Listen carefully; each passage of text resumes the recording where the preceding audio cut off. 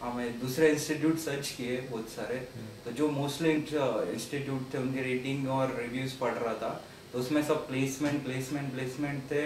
और मतलब इधर आओगे तो आपको प्लेसमेंट मिलेगा फैकल्टी ऐसे वैसे। और टीचिंग की कोई बात ही नहीं कर रहा था। तो आपको आता है तो फिर आप जा सकते हो ना किधर भी। पर अभी फिर उसके इसलिए स्किल्स के लिए आने का था। फिर मैं टेकवेडा का देखा रिव्यूज़ हर एक रिव्यू में सर की बात थी। सर ऐसा सिखाते सर मतलब टीचिंग में ऐसा गुरु है वो सब।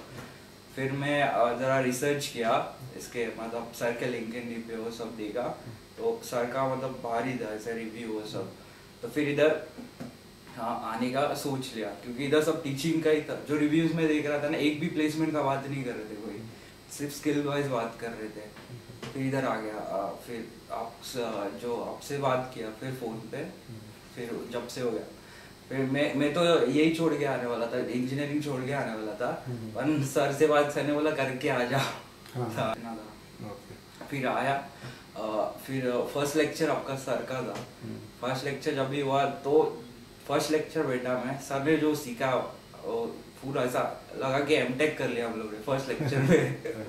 फ़र्स्ट और सेकंड लेक्चर में एम कर लिया लगा हम लोग का इंजीनियरिंग तो अलग ही चला गया। तो फ़र्स्ट एक घंटे में इंजीनियरिंग हो गया सेकेंड इसमें एम हो गया ऐसा लगा। वैसा फिर एक भी मिस हम लोग हम लोग बाहर नहीं खाते मालूम है बाहर जाते ना हम लोग बाहर कम खाते क्योंकि यहाँ पे बीमार पड़ के तो आने सर का ये हो जाएगा मिस हो जाएगा करके। ऐसा सिखा रहे सर इसलिए। फिर